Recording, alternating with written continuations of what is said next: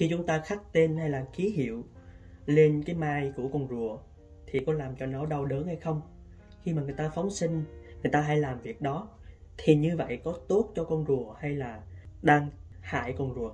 Để mình đi sâu và trả lời cho cái vấn đề này, trước tiên mình xin hỏi các bạn, mục đích các bạn ăn chay là các bạn muốn giảm bớt cái việc mà những con vật khác nó bị sát sinh hay là mấy bạn ăn chay chỉ đơn giản là mấy bạn tới ngày rằm mấy bạn ăn chay.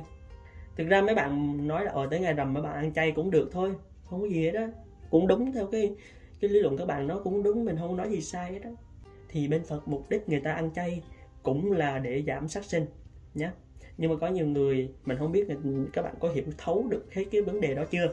Hay là có những người người ta chỉ ăn chay theo người ta thấy bố mẹ mình ăn chay người ta cũng ăn chay theo thôi.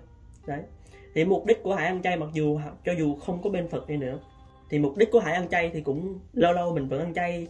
Mục đích của mình ăn chay thì cũng là để giảm bớt cái tỷ lệ những con vật nó bị giết. Mình không nói là mình một người cao thượng đến nổi mình ăn chay hoài được.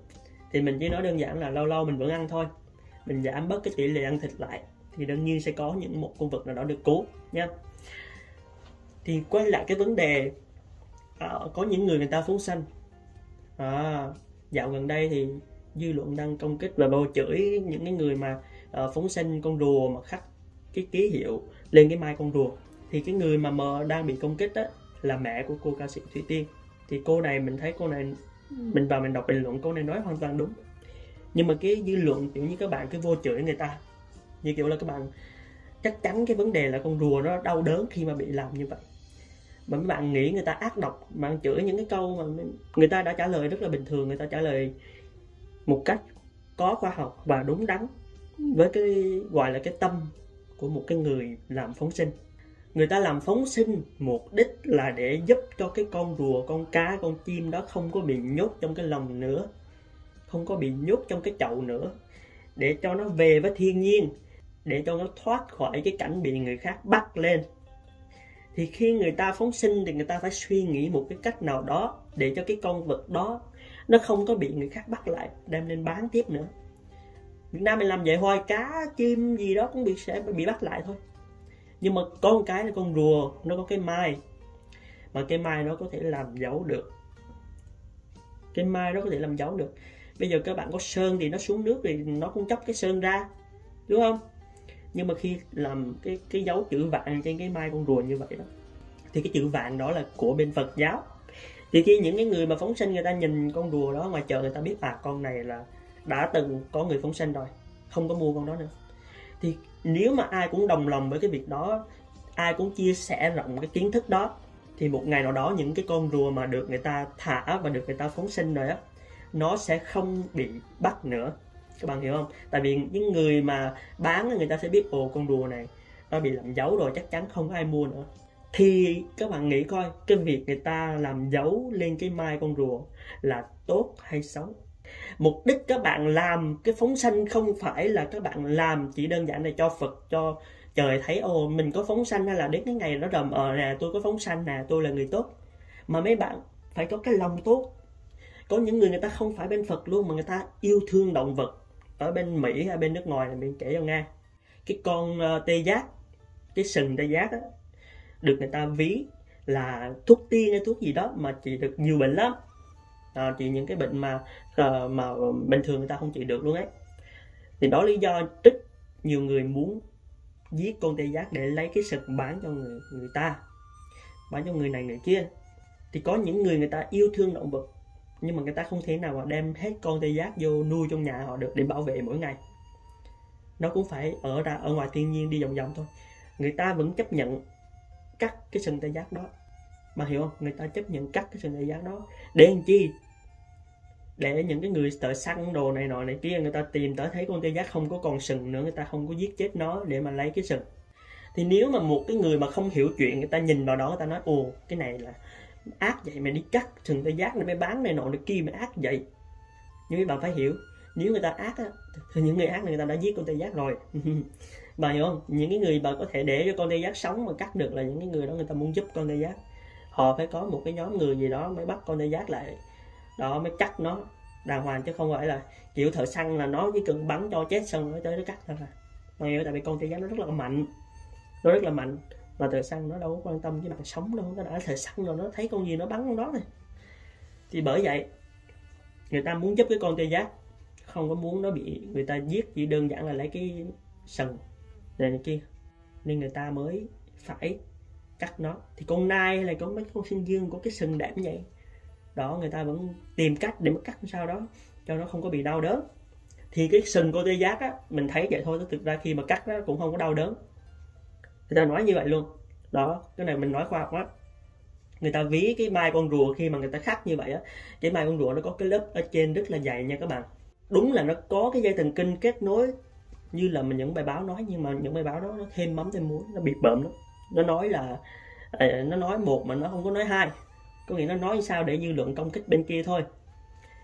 Nó vẫn có cái dây thần kinh nhưng nó nằm ở cái lớp dưới và cái lớp trên nó rất là dày.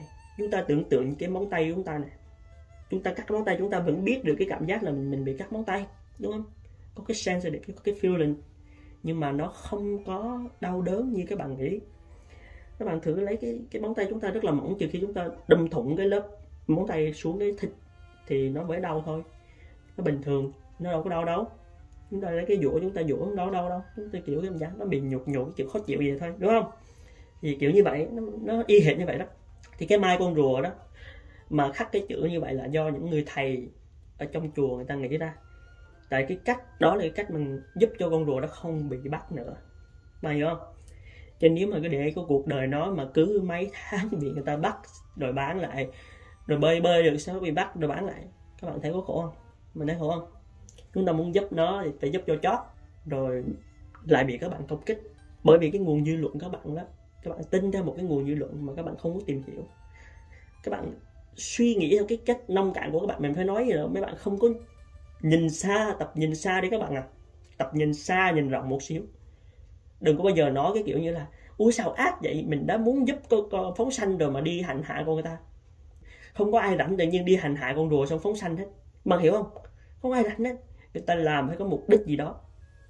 Chứ không có ai tự nhiên đăng lên mạng để cho các bạn vô chửi người ta ác độc hết. Bạn hiểu không? Không ai tự nhiên đi phóng sanh mà tự nhiên đi hành hạ con người ta chi? Mà người ta làm có mục đích. Mà khi người ta giải thích các bạn phải suy nghĩ xem à cái này nó hợp lý đúng rồi. Đó tập suy nghĩ rộng một xíu chứ không phải là người ta giải thích xong cái mình vô chửi rồi viện lý do này nọ ừ, ai nói con rùa ai nói cái mai con rùa nó giống như cái móng tay. Cắt cái móng tay sao giống cái mai con rùa được? Cái mai con rùa nó có cái cái cái mấy cái thần kinh nó kết nối. À, rồi cái mai con rùa nó uh, như cái cái xương sườn của mình. Ôi trời ơi tôi lại luôn á. Cái xương sườn của chúng ta nó nằm xương sườn nó nằm ở dưới cái lớp thịt nó khác hoàn toàn nhá bây giờ mình nói đơn giản như vậy. Cái chân cái gót chân của chúng ta nếu chúng ta không dùng giày không dùng dép chúng ta đi chân thôi đi chân không chúng ta đi khoảng một thời gian dài đó, nó sẽ bị chai cứng đó bây giờ bình thường chúng ta thấy là ồ cái lớp da này nó mỏng nếu chúng ta đi uh, dép đi dài nhiều thì chúng ta thấy nó không dai cứng chúng ta lấy cái dao chúng ta đập xíu chúng ta thấy đau đi một thời gian mà nó build được cái, cái, cái độ dày á của cái da chúng ta lúc đó chúng ta cắt một lớp dày cũng không có cảm giác gì hết thì cái mai con rùa nó vậy nó ở ngoài nó ở ngoài thì khi mà nó ở ngoài như vậy thì sao? Nó có cái cái sự tương tác với cái môi trường bên ngoài, nó bị thế này. Nó là giống như một cái cái cái lớp bảo vệ con rùa, các bạn hiểu không?